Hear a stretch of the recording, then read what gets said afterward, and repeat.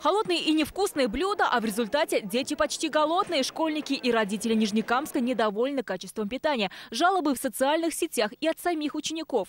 Сегодня, например, мне как бы не очень все нравится, поэтому и полная тарелка еды остается. Вчера э, нам дали зеленые котлеты и все, а так нормально.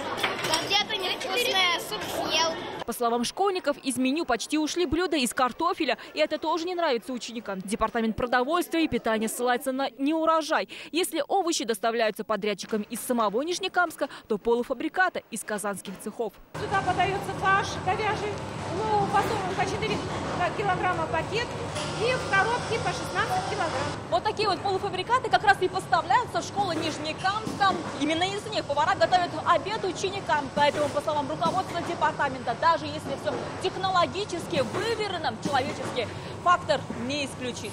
Полуфабрикат один – замороженные пельмени. То есть их можно не доварить, переварить. За перечень блюд полностью отвечает департамент. Вот, например, среднее меню одной из казанских школ на одну февральскую неделю. Старшеклассникам достались макароны, рыбные и мясные блюда. Из напитков есть даже кофейный. У младших классов калорий больше. Тут помимо макарон можно встретить плов и мучные изделия. Кому-то нравится, а кто-то не наедается. Мне нравится суп и второе. Комплекса ему не хватает, поэтому он в буфете еще пирожками допитывается, докушивает.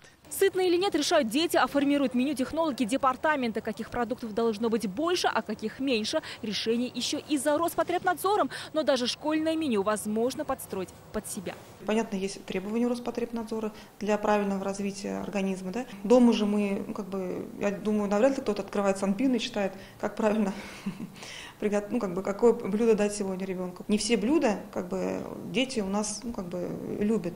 Поэтому для этого мы создаем вот эти мобильные приложения, общение с старшеклассниками. С октября 2017-го 4,5 тысячи заявок поступило на мобильное приложение «Поел и доволен». И по данным самого департамента, половина из них – это жалобы на качество блюд. Альбина Минибаева, Александр Лобанов, Эльвира Софиулина, Максим Липин. ТНВ, Казань, Нижнекамск.